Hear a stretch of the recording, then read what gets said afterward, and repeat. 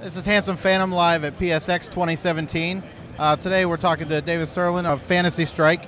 David, tell me a little bit about your game.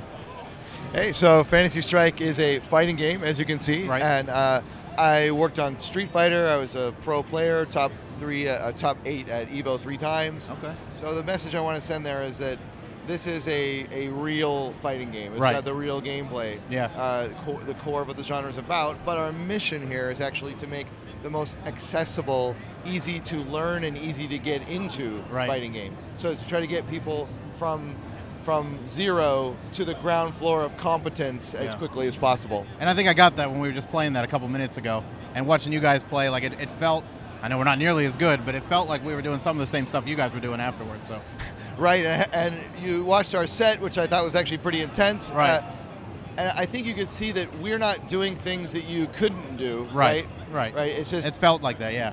but we, good. but we, we, we know things you might not know. We're, Right. we're playing mind games that you might not be aware of, but, Right. but it's within your reach if Right. you just practice more. So within that, what makes this game stand apart from the Street Fighters and everything else out there? What are you guys doing, I guess, specifically to Fantasy Strike? You know that that's an interesting question. Uh, in, in one sense, it, it's just the the whole approach is so unique. that Right. There isn't really another fighting game that, that's quite comparable to what we're doing because Yeah. there. Are you familiar with Divekick? A very very simplified no. fighting game. That Okay. game only has two buttons and no Oh, joystick. really? Okay. So there's a complexity spectrum where you've got Divekick way on one end, Right. and you've got you've got almost all the other fighting games on the other end. And Okay. what's what's complexity in the middle? Not much. So that's Right. that's where we are. Okay. I don't think we're strategy in the middle. I think our strategy is as good or better as Right. as, as a Street Yeah, Fighter. Uh, so that's one of that's one answer is that Okay. Uh, there isn't anything comparable to, to our mission exactly, but.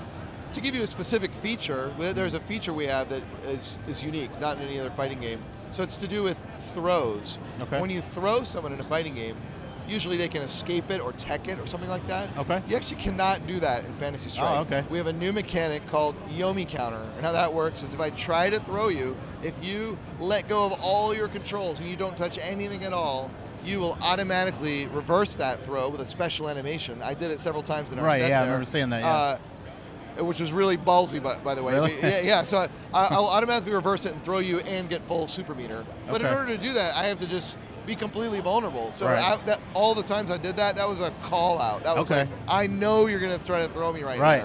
there. Okay. So it's, it's an interesting Right. new, new take on throws. Yeah, there really is. Um, as far as playing it on the PS4, is there going to be any extra PS4 Pro support? I know we played it on a Pro.